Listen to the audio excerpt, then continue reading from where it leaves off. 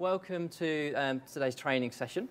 So um, the idea of today's session is just to give you a bit of a glimpse at um, some real life experience. Okay, so a lot of you are here because you've faced some SharePoint challenges already or you suspect you're about to. So you've made the decision to come to a conference and try and get um, a bit of a head start or, or, learn how to, to fix some of your existing problems. Okay, so um, what we're going to do between, the, uh, between ourselves today is just talk through a process that we've been experiencing. Okay, so the process involves the challenges that a large company might face when they're um, moving over to SharePoint.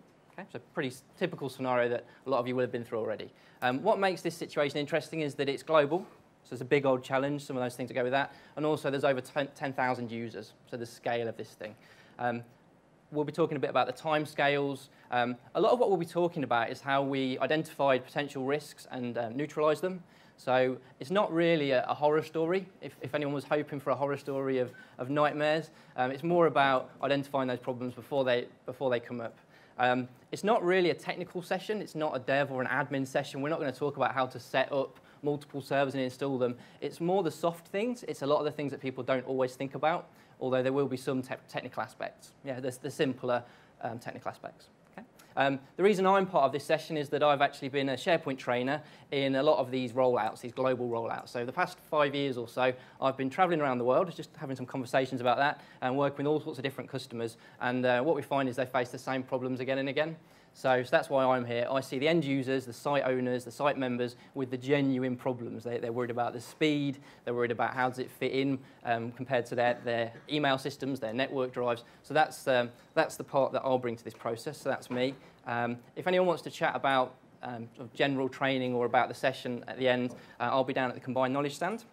Okay, so that's me. Um, also, we've got Ben with me today as well introduce yourself? Yeah, um, my name is Ben Thompson. I'm the Digital Communications Manager at Johnson Matthey.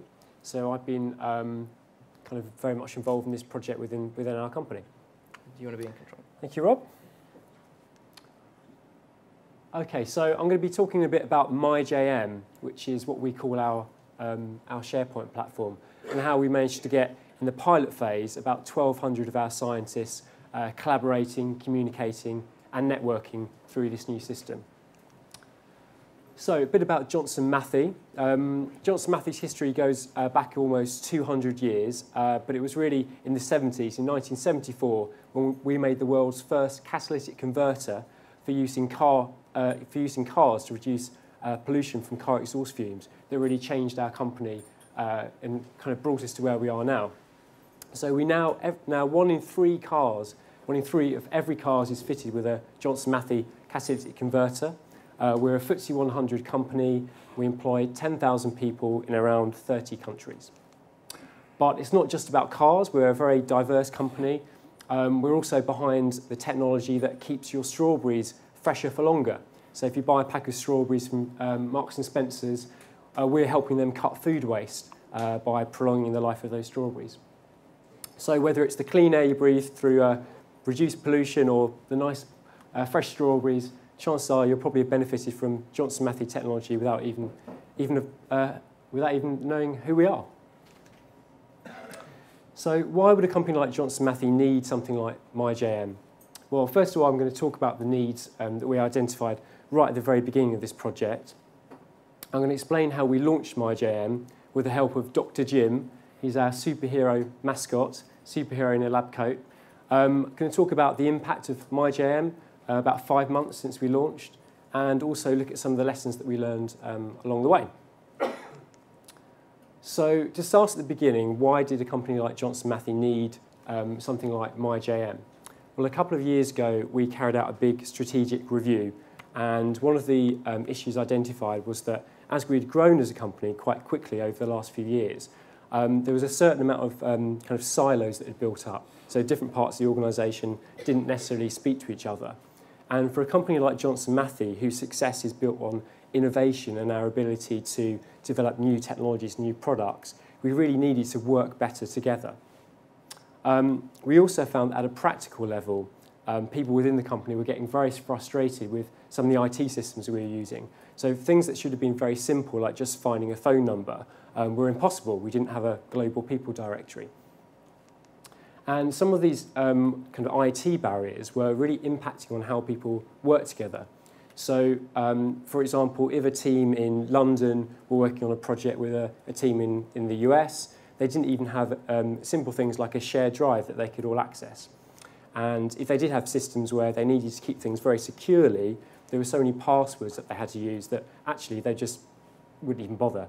So um, within the company, at quite a strategic level, um, it was identified that we needed to get better uh, collaborating together. And on a practical level, at grassroots level, there was a real um, kind of demand for better uh, collaboration tools. If I can jump in there, Ben. Um, mm. Some of the practical um, restrictions, if you imagine uh, a lot of these people are scientists, okay, so they do quite like technology, but they're um, they may be like uh, instruments in a lab rather than computers, so it's a different aspect of technology. Um, imagine if there's some sort of a reactor that they've got to do some testing, and that's in America, and the guys over, over in the UK need some testing done on a certain type of uh, material or a chemical. So they would have these regular communications where I need some work done over here, but the guys in a different country need to do that work for me. So um, they're generating all this result data, all this information, and they were literally having to resort all the time, constantly, to at the end of every test, email, attach, and ping it off to whoever they think might need it. Yeah, so these real specialists, this, this information, and it was really just all over the world. There was, there was no common ground other than the, the, the very busy email system. Yeah, absolutely. And because as a company we're very much science driven, science and technology, it was in, within that research and development community, those 1,200 scientists, where the need was greatest. So um, that's kind of where that was our starting point.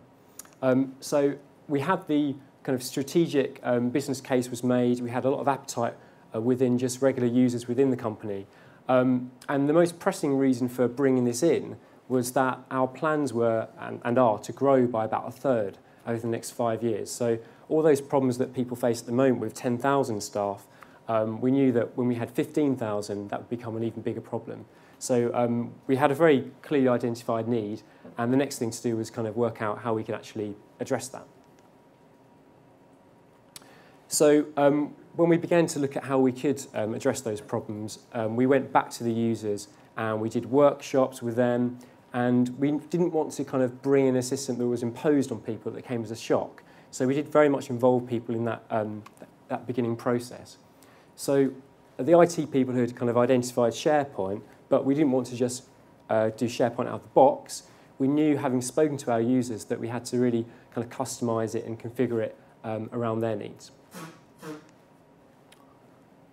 Okay. ah, okay, yeah, this is back to the IT side of things. Okay, so we're, we're on the verge of SharePoint, um, but we've maybe looked at what's going on and uh, we've realised that as a global company, you can't just install SharePoint, you can't just get the CD or download the MSI and away you go. Um, so there was a bit more to do beforehand. Um, so let's, let's just take a quick look. So um, there was no single directory, there was no single active directory. Actually, we found um, as part of this process, there was 27 directories. So depending on which part of the world you wanted to search, you would, you would need to look at the, one of these 27 directories. No one had full access to all of the directories. So if you're trying to find someone's some basic details like who's someone's manager or what's someone's phone number, as a user, you just didn't really have a chance. You could probably find the details of people that worked at your site, the people that you already knew. But really what they wanted to do was, was kind of get over these boundaries. So these established boundaries of department, site, even country, we just wanted to, to get rid of all those boundaries. And that's really what SharePoint promised. But uh, to get there, there was a big migration process. So there was uh, people within the company and experts that were brought in to take 27 directories and make it one active directory. So that in itself took several months just to achieve that. Okay, so it doesn't sound very exciting, but before we could have SharePoint, that had to happen. Okay, so that was kind of step one. Um, the next thing we thought about, well, what do they use for email? And obviously, uh, I was coming into the company, I bet they use Outlook. No, they still use GroupWise, who knew? So uh, does anyone else still use GroupWise? No, I think, I think literally they were the last people using GroupWise. Um, pretty much. Um, so yeah, got 10,000 or more people using GroupWise. Um, so they thought, well, we could use GroupWise. I wonder how well GroupWise integrates with SharePoint. Not really particularly well. They like the idea of synchronizing things offline to Outlook. Um, so we decided to move small decision, big, big implications. So um, they went through and looked at what data have we got in this, these email systems. It turned out was 32 terabytes.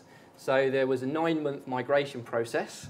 And again, this is all just in preparation for SharePoint. These little hurdles that they came across, which again, for us, oh great, we'll make the decision. We, we, we think we want Outlook. We're going to go to um, what would be Outlook 2010 as it turned out. And uh, behind the scenes, it meant some late nights and, and long weekends for a lot of the actual IT people that were doing the migrations.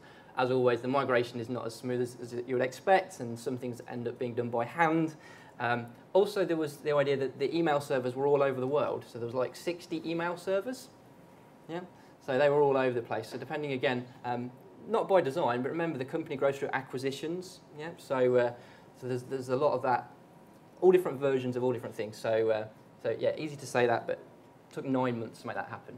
Um, we thought, well, we've, we've got all these different versions of Office.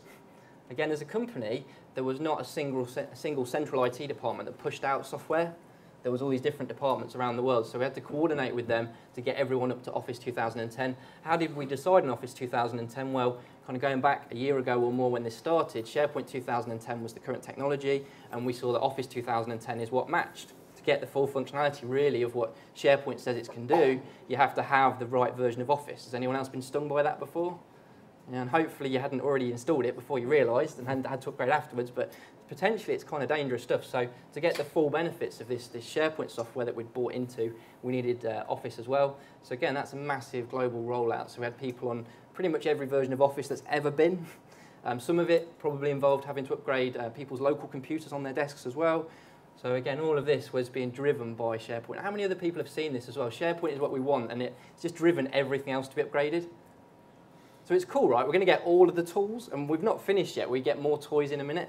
But, um, but yeah, it's definitely an important part of the process. If anyone's not gone through that yet, if you're still early on, so if you've kind of not had the problems yet, Microsoft have a few documents to help you with that. So there's the classic Fair, Good, Better, Best, one of my favorite Microsoft downloads. So if you've not seen that, Fair, Good, Better, Best tells you how uh, what was SharePoint 2010 worked with the last four versions of Microsoft Office. Yeah, and it didn't just say it kind of works, it works fully. It had screenshots. It's a big old PDF that shows you exactly what should and no, not what should. What will work and what won't work. It's definitive. It's very clear cut, that one. Okay, so that's good. We like those documents. Um, so that's Office, so we thought we'd have that as well. So this all was as part of a two-year project. Yeah, so all these things are coming on. We're lining them up. Um, there's actually about 20 internal people working on these projects, and then there's, there's consultants coming in in these different areas to do with email and SharePoint. So they're all kind of coming in as well. Um, so that's all happening nicely. We were thinking about this, and we thought, well, wouldn't it be nice if we could have, have some instant messaging as well? Yeah, we're, going there, we're having Outlook, we're having all the other Microsoft technology, so instant messaging was more or less the only thing we were missing so far, so we thought, yeah, why not, let's have Lync as well. Um, we already at that point had a central directory, we had Outlook, so we, we were pretty much on board with Lync as well. Um, I think that's probably one of the best decisions that was ever made, having Lync. Um, we'll, we'll, see the end result of all of this. We are going to get to the SharePoint bit eventually, but uh, the idea that I can find someone by uh, a skill they have someone I've never met before that's in a different part of the world, I can see they're online and I can send them a question now and get a response straight away. So that whole process of me realising a question and getting an answer from an expert within the company that I'd never heard of who's in another part of the world, if that whole thing can happen in like two minutes, that is so powerful. Um, we know that they needed this because when we were doing some little training sessions to begin with, when people were coming together from different parts of the business and we were sat in the canteen having some food, excellent canteens as well, by the way, congratulate you on that.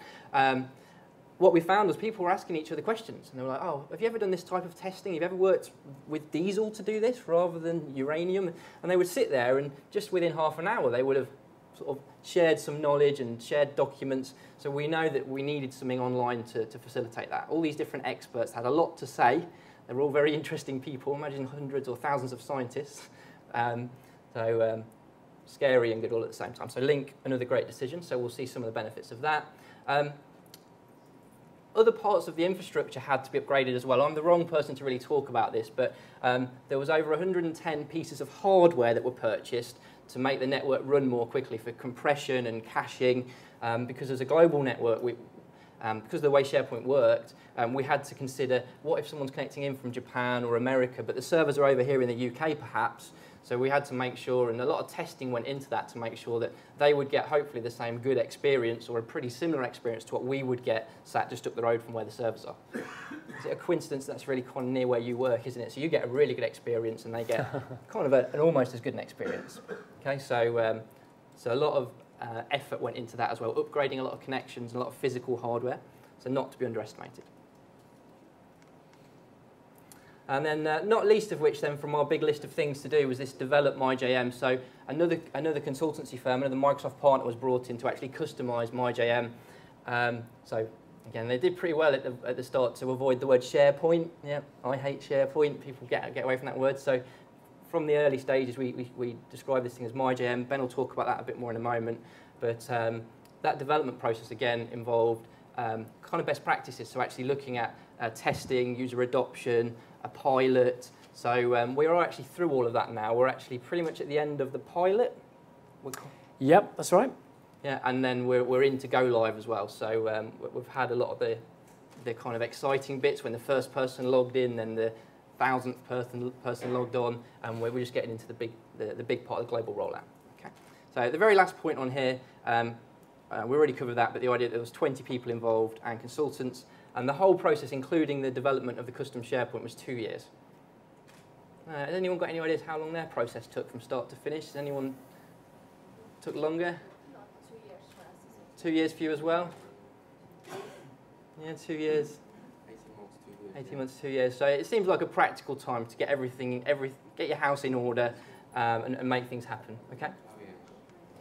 Okay, right, back over yep. to Ben. Okay, brilliant. Thank you, Rob. Um, so I started off by talking about how um, this project began with the needs of, of, the business and the needs of the users. And we followed that user, user involvement uh, through many stages, and, and especially in terms of the actual design of, of the implementation of, of SharePoint. So um, as Rob mentioned, um, we've branded our system as, as MyJM, and I'll say a bit more about the branding in, in a moment, but we didn't use the word SharePoint once in any of our communications. And um, one of the reasons is because we didn't want people to feel that we'd just taken something out of the box and imposed it on them. So what you're looking at here is, is the homepage of MyJM, and the principles behind it are really that it's all designed around the user's needs.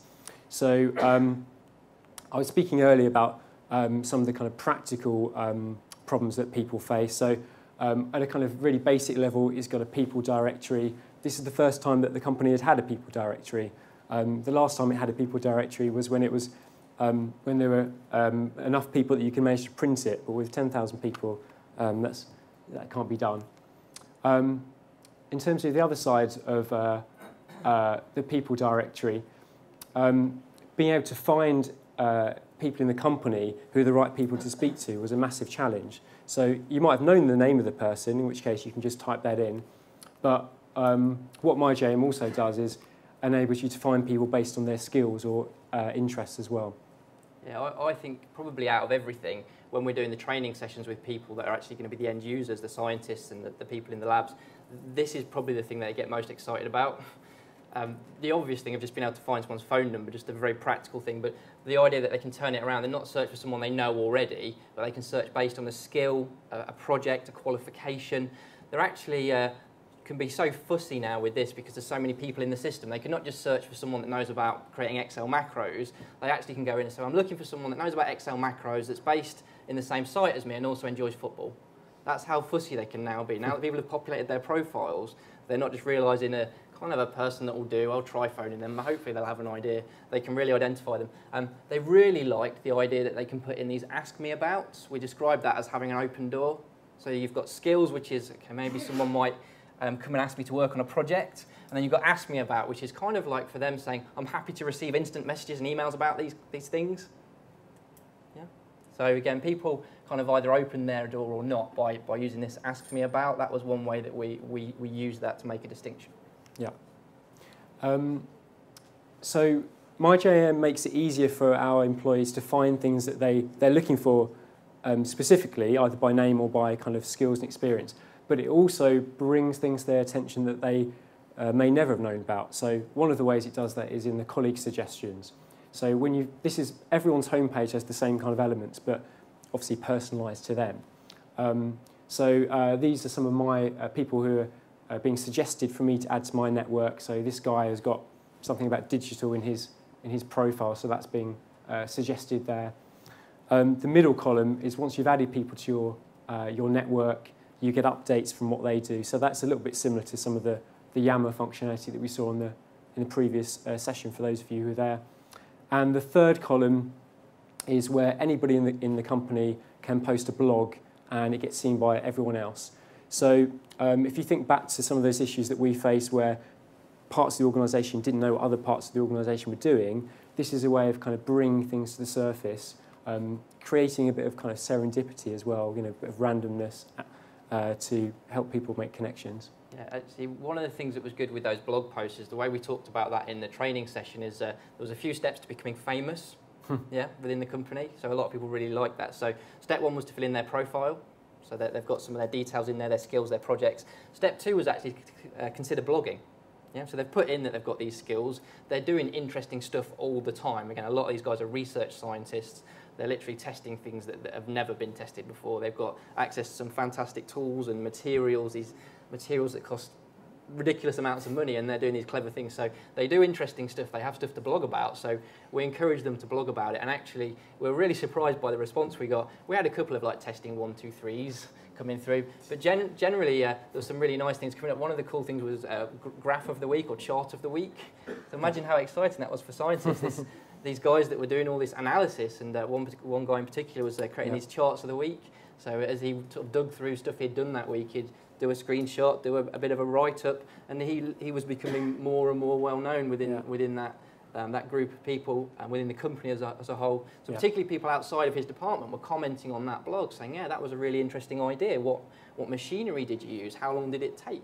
And these conversations between people that just didn't know each other at all before were all starting to happen. So that was kind of one of the most exciting times for us.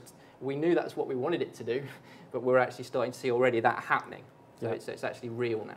Yeah, they love actually they love graphs so much. They even some guy posted a graph about the optimum time to get to the canteen when, when most people left, but before more people got there. So, They um, do analyse stuff a lot. so those those colleague suggestions on the homepage and the activity feed, they're all driven by um, driven, driven by the profile page, um, and all of these things that we kind of switched on from the beginning and the way we designed that homepage, that all came out of the kind of works, workshop sessions that we had. From our users and also going back to those needs at the beginning. So it was all designed to be, um, uh, was, was customized really to make the most of SharePoint to encourage that collaboration and that networking side. Um, the other thing that um, people really wanted was a place that they could put their files and share those safely and securely um, with whoever they wanted to share them with um, at any of our locations around the world.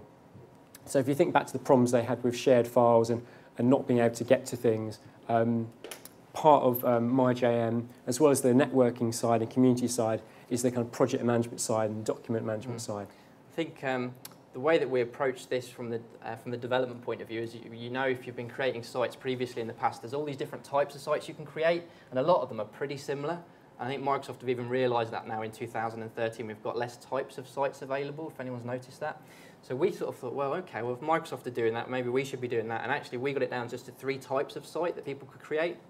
Yeah, so three different types. So uh, probably the smallest site we decided was a document repository. There's literally just one library in a site. So that's a document repository. The idea of that was people have got all this stuff in their network drives, or even worse, on their desktop or on their C drive. They, they even confess to it. They, they know some of them so little about computing that, yeah, I save it all on my C drive. These are desktops. These are not laptops sometimes. So that could be kind of scary. So uh, actually, for them to be able to take this stuff that they might have generated over years and years and just have a place where they can put it into these repositories, instantly it becomes indexed and is searchable. So we were having content that had been available to one person before, and just by them spending literally maybe four or five minutes uploading some of these things, that, that same set of documents was now available to over 10,000 people. Yeah, and that's a big change. That is a massive change, and obviously that's a really powerful thing to be able to do that. But that way of working is is completely new to our company, um, and scientists are used to. Well, our scientists certainly they're kind of used to working on things. They don't always like to share their results until they've got to the end of a project. But by the time you've got to the end of a project, someone else might have been working on that same thing, and if they did know about it, they could have saved months and you know hundreds of thousands or millions of pounds. Yeah, there was, a, there was actually a really good example of that um, in one of the training courses just before Christmas. So um, we get all these newbies in, they've never seen MyJM um, before, so we get them to log on, fill in their profiles. And one of the first things we do is like have a search, have a look around, see if there's any documents in there that you find interesting. Because it's a live system, there's all this stuff in there already. A whole load of it was uh, brought in from a few different network drives around the world, stuff that they would never ever have seen before. So there was one guy that was about to start a brand new project. Some, it's a different kind of idea. His boss had just sort of set him this task that he was about to start later on that week. And what he did is he started to search around the names of the, the materials involved and the different types of testing he was going to do. And what he found was in 1981, within the company, someone had done that test. He literally found that same document that normally you would never have found. It would have been tucked away in some private little archive somewhere. So it was kind of crazy, but um, this stuff was there and it came up that. So that really was a good proof Yeah. that this search was working so well. Yeah. So, Yeah. so those very benefits to the company and to individuals, they're the things that people are also very scared about. So it's the kind of a double-edged, double-edged thing. We, we tried to introduce it as well as a, at the same time as introducing the system, we were looking to bring around partly a cultural change, wasn't it? So rather than each department being self-sufficient and actually being quite proud of it, we were looking to say, well, if there's something that we're spending this money on as a company for some research, by default, you should be sharing all of the documents that go with that. Yeah. So imagine if um, this one actually was a uh, project site. So imagine if we've got this project site. So we've had a, a repository, which was a small one that you drag stuff in. This one's a project site, I think. So the project site, the idea is um, you request one of these things. Um, so there is a basic approval process to make sure that we're not got sites being created willy-nilly. So it goes through a simple approval process, fairly quick, and you get yourself a project site. At that point, you're the owner of it, so you can customize it, colour it in, whatever you need to do. Um, you then press a button to say, I wish to share this with the whole company. So they just, uh, there's a custom bit in the security where they can just go in and say, I want to share this with the whole company. And that's what we're saying to these, these new site owners, project managers, whoever they turn out to be. When you're working on a project, if it's funded by the, uh, by the company, it's not private to a specific customer, you need to press this button and it's going to let you share it with the whole company. Part of how we sold that to them was if someone keeps requesting stuff from you, you can just point them there.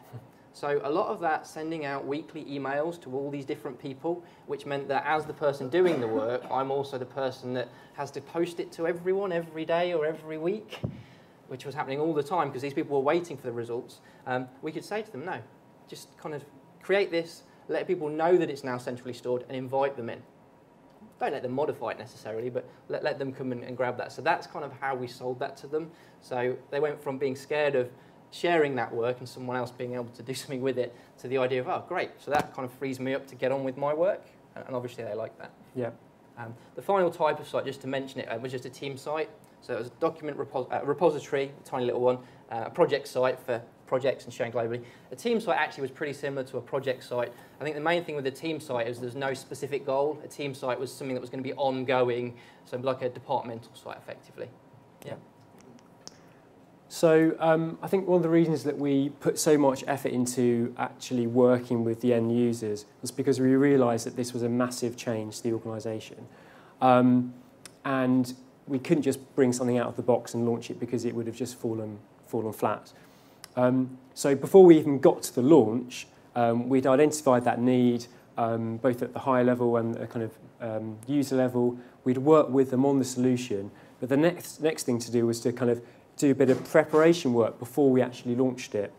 Um, so what we realised was that um, in the kind of line management level, those were the people that could really be a massive help to this or a complete blockage.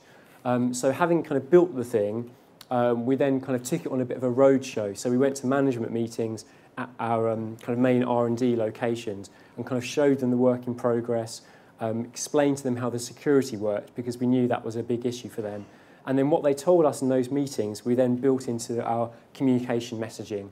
Um, so even before the launch, we kind of did that pre, uh, kind of warming people up bit. Um, super users, which is quite a kind of common thing when you're launching um, something like SharePoint. Um, we made sure that we found a super user in each uh, team. In fact, we asked the managers to nominate or find volunteers. So that would be someone who could uh, champion MyJM when it went live, give, give their colleagues a bit of support.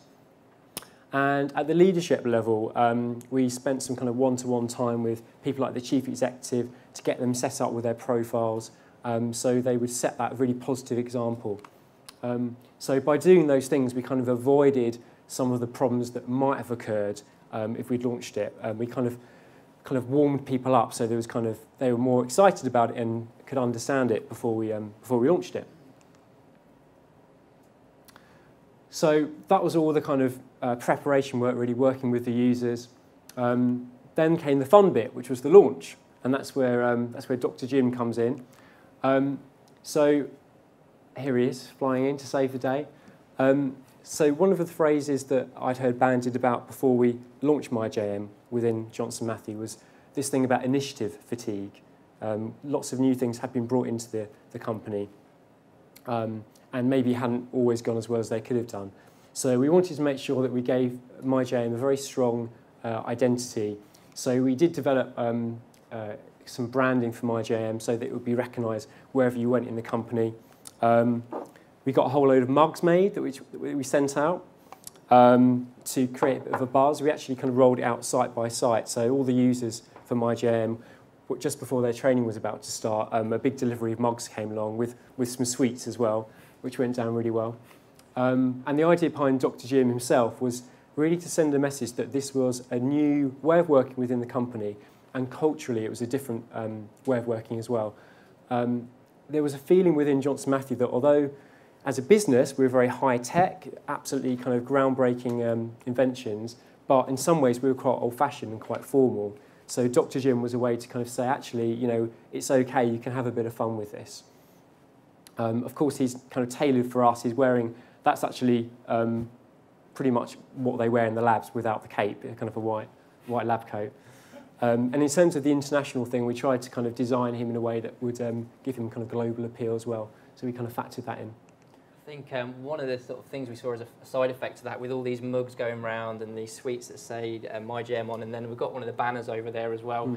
Mm. actually, when I arrived to do the training, normally I say I'm here to do the SharePoint training, and they go, "What? What's that?" Whereas I say I'm here to do the MyJM training, and go, "Oh yeah, MyJM, yeah, we've been expecting you for two weeks," and, and actually that wasn't just like at reception. That kind of all the people there, although they hadn't tried it yet because we wouldn't let them onto it because we didn't trust them yet, and we learnt a lesson there. Um, they all knew what it was. They all had a, an idea of it. And as you said, despite the fact there was all these other systems coming and going, they were all kind of curious about it. So, uh, some of them were skeptical. They're paid to analyze things. So some of the hardest training days I've ever done. You know, imagine everything you say. You've got like 15 scientists pulling it apart. Yeah. And again, a lot of them really proud that they don't use Facebook and they, they stay off Twitter and all these things. So um, yeah, interesting days, but the, the main thing was it definitely worked. They were, they were switched on and they were, they were curious to see what it was all about. Yeah. So, so if, the, if the branding was kind of part of the style in which we kind of launched it, we also wanted to back that up with some substance. So in, in all the messaging that we kind of did for MyJM, we made sure that we explained the, kind of the vision for the system really. So we didn't start by saying it's SharePoint and you know you can add a file and you can do that. We really started by kind of saying, kind of imagine what could happen if, if you could connect with your colleagues, if we could harness all the amazing talent within, within our company and in this first phase, first phase within the research and development community. So we kind of tried to get across that big picture at the beginning. Um, and as well as the, uh, what, what the benefits were to the company, we also emphasised what was in it for the user as well. So I think, Rob, you mentioned earlier about um, making yourself famous within the company in terms of the profile, you know, we said to people, look, you've got all this expertise, you fill in your profile, people will know about that. And if everybody fills in their profile, um, you'll be able to find people who can help you do your job uh, more easily. So you can save a lot of time and effort that way. Um, we also, as you can maybe see on the banner there with the different languages, um, this, is, this screen here is actually part of a presentation that we sent out to everyone, but we did get it translated into about 10 different languages to kind of help, um, help with that I remember that that was about a month before the system was going live. You were kind of mm. we were still a few weeks away. No one actually had access at all, but already we've got these headlines of you'll be able to find people, you will be able to share information, and these are these actually were things that kind of two years before we'd identified people wanted to do. So yeah. so they'd been um, wanting these things, and uh, again they were very keen to find out how it was going to work. Yeah, absolutely. So having grabbed people's attention, the next thing to do was to kind of keep the momentum going. So on MyJM itself, we ran various campaigns, things like Blog of the Week, um, with the kind of map of the world there, we showed where um, people were being trained, so we kind of gave a sense of progression that mm. the rollout was going on. And it was very important for us to get that message across that this was a global, um, global platform as well. Um, we have, in, I'm part of the communications team rather than the, the IT team, and we have a monthly editorial meeting where we kind of look at um, what's coming up. And we realised that Valentine's Day would be a good thing to, to use MyJM for. So we did this idea of um, using your, your status update to describe the thing that you most love in all the world. So someone here is talking about the volunteering they do uh, with Scouts.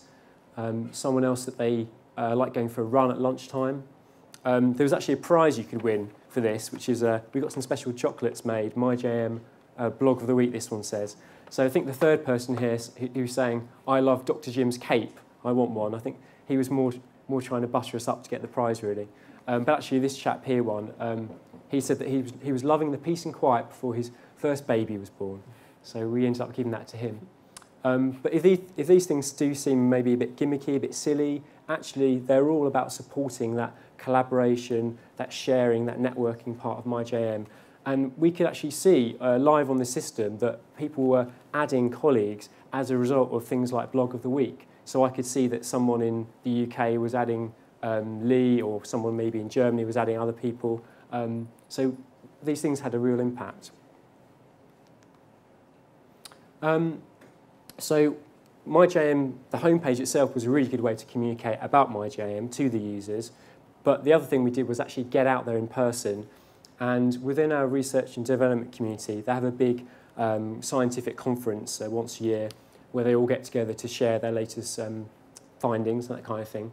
So we went there with, with MyJM, we kind of took the banner, we took the margs, set up a stand, um, and it was really a chance to, to show people that MyJM wasn't going away, it wasn't just something you had on your computer, it was actually part of everyday life. And we had our, uh, our director of research and development at the conference, he kind of introduced MyJM in his kind of opening remarks. Um, the chief executive of the company, he kind of finished the conference and he talked about MyJM. And um, it had, as you can see from the photos, it had a really good response. This chap here is kind of volunteering as to say that he looks like uh, Dr. Jim. So that's kind of, it's a bit like kind of Spartacus. Everyone's claiming to be Dr. Jim within, uh, within Johnson Matthey. So this, these were, I guess, the launch activities about you know, using the branding to kind of get people to wake up. This is a new thing. Um, you know, backing that up with the explanation about why we're doing this. I mean, like Rob said, um, you know, our pilot group were about 1,200 scientists. These people are, you could say, if you're being negative, you could say they're cynical. If you're being positive, you could say they're skeptical. They do kind of question things for a living. So we really had to back it up with that substance. And then the nurturing the community, kind of doing all that follow-up follow -up work um, was really necessary, um, especially as it was such a different way of working. And um, we knew we had to put the effort in. So that all began in terms of the launch. We launched right at the end of November, so we're, we're a few months on now. Um, and uh, kind of really towards the end of the pilot, as Rob said. So in terms of the impact of, of MyJM, um, before we launched MyJM, the company already had a kind of corporate-wide intranet that was only being used on average um, by about 3% of uh, users um, uh, kind of every day. So within a few months, MyJM is already being used by uh, on a daily average, 25% of users. So that's a, a big increase there. And on, on the days when we kind of send out things like um, our MyJM newsletter, that kind of goes up even further. Um, I think just to add some context to that as well, um, one of the things that, that actually um, controls how many people go into the system is if their whole department's moved into it yet. So as part of the rollout, we, have been uh, training different individuals, and as, as you, anyone that's tried to put a training schedule together will know, you can't just take a whole department and out for a day or two days and train them. So um, the sort of thing that was happening is maybe um, in November we'd train five people from a department, and then it might be December that we get to train the rest of the department. So until the whole department can actually get into the system and has an idea of what's going on, they, they couldn't adopt it yet. So um, yeah, we've gone a bit more on that in the lessons learned, but actually we're, we're just getting to the point now where we do have whole departments, whole, whole regions on the system, and, um, and that's, we're starting to see the figures go up a lot now. Uh, also, it wasn't uh, mandatory. We didn't say to people, you can't use the network drives anymore. We could have forced people into it, but we know they would have been resistant. So, um, especially like we said, because they were quite sceptical. They had seen a fair few other systems come and go, these systems that didn't last. You know, they've been promised the world before and it never, never kind of arrived. So again, we were quite careful with this. We kind of approached it in a way where we offered them all these tools. And we literally said in the training, if you want to, you could just open this up, you could search the address book, find the person you want, and then close it back down again and carry on working.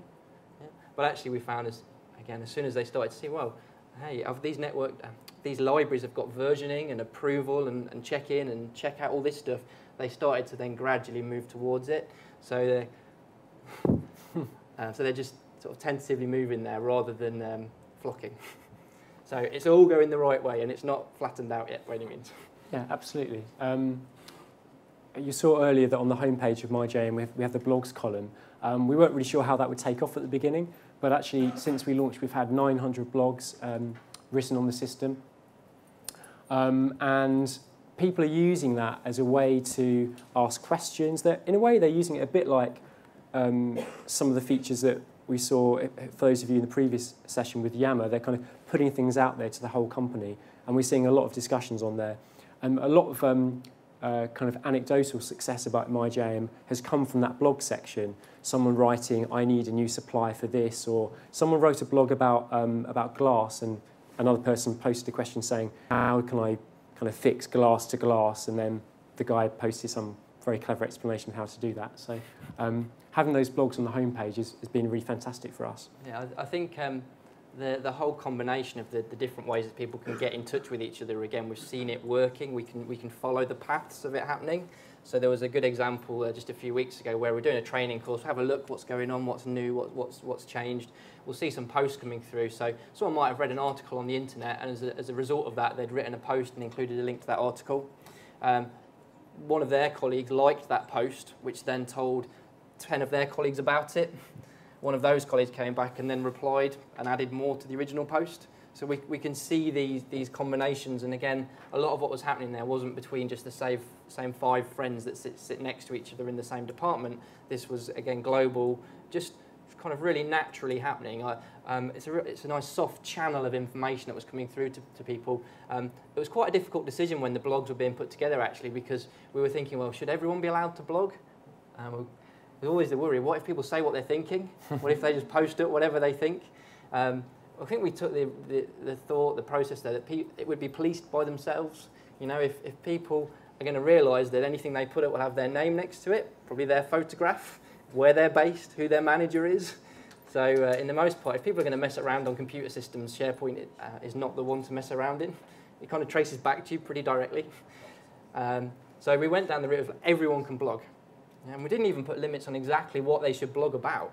Yeah? So there's, uh, there's charity things in there, but, but equally there's, there's some people that are, um, their, their whole departments is, is to help other departments. They provide services within the company. So they were doing these fantastic case studies of what they'd been doing. And again, they've got some fantastic responses coming back.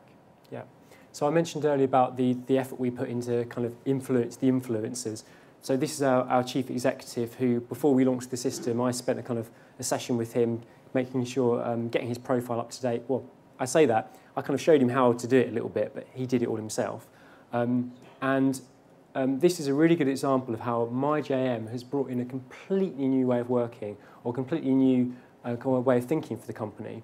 So previously, um, our employees would maybe hear from the chief executive once or twice a year in maybe like a 1,000 word letter that probably somebody in my department wrote, and then that was emailed as a PDF out. Uh, now he blogs himself, you know, a few hundred words, probably at least once a month, you know, when he feels like it, but also we kind of maybe suggest he might want to blog about such and such. Um, and gets loads of comments as well. So his blog is actually, um, it's not just a vanity project. We look at the stats. His blog is the most popular blog out of all, all, the, all the other people's blogs um, uh, on, uh, on MyJM. And it gives, um, gives staff a chance to kind of ask him questions, have a bit of debate. Um, and it also, um, this is an example of him kind of modelling the behaviour that we want everyone to engage in. We want everyone to um, collaborate and build on each other's ideas, to ask questions, to, um, yeah, to, to communicate together. So um, the blogs has been a fantastic channel for him to kind of act as a, as a really positive role model for, for that change that we ought to see within the company. Um, and going back to that, um, that vision that we talked about at the beginning, um, uh, connecting all of our 10,000 employees around the world. Um, over the last um, five months since MyJM's been in its kind of pilot stage, those 1,200 scientists, through adding people uh, to their colleague connections, adding people to the network, have actually generated 70,000 connections. So, um, you know, those are just a few figures of where MyJM has really kind of proven itself already in just a, in just a few months. And those connections were made um, either by them directly looking for someone and adding them or through the colleague suggestions web part that we have on the homepage. So quite often a, a lot of them are coming through that colleague suggestions. So these are people that just have something in common with you. So again, it could be as um, you, you both like football, but also it could be you have the same job title. So a lot of them were coming through that, that process. Yeah.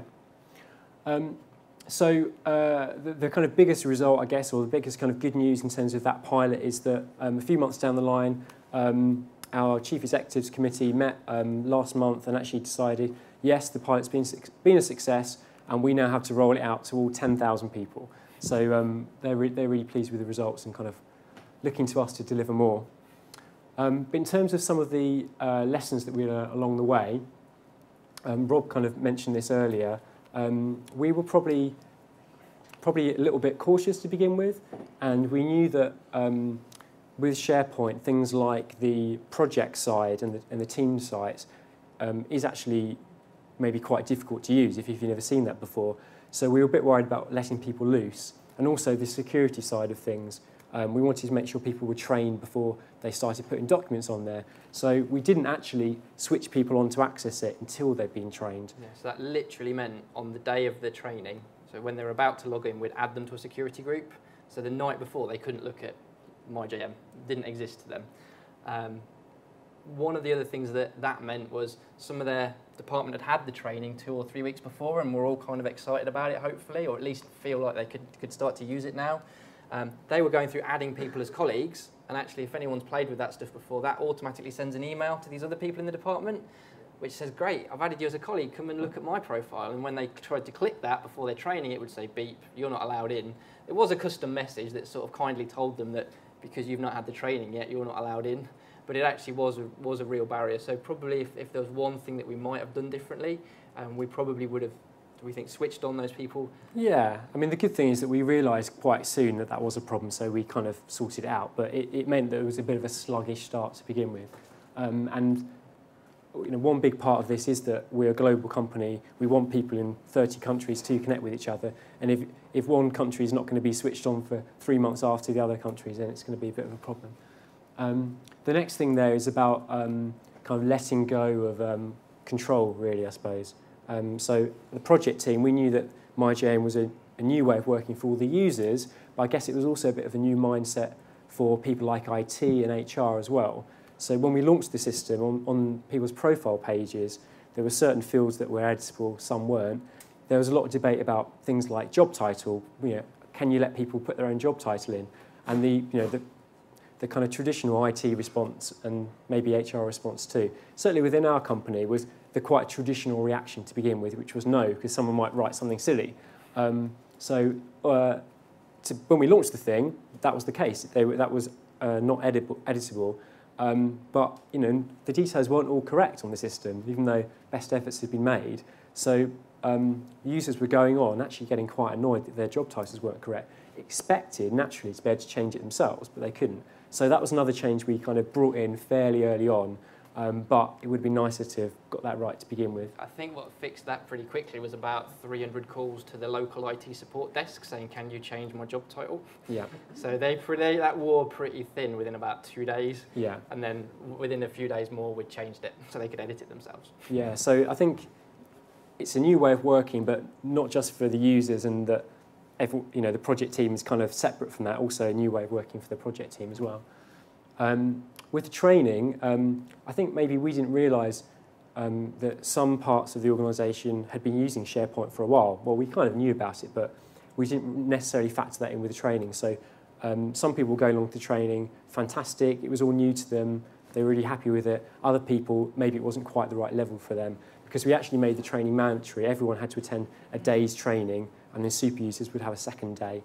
Um, so I think really if we'd made that a bit more optional and thought about who really needed the advanced training, that might have worked a bit better. Yeah, there's, in a smaller company, there's things you can do, I guess. If you've got maybe 100 people to train, you might actually sit with them and, and do their training needs analysis. And if they're clued up, they can say, yeah, I already know about this. I just need to do a bit of an advanced course. They could perhaps tell you what they want. But when you're, when you're working with 1,000 people or 10,000 people, it's not, not really likely that you can do training needs analysis for everyone.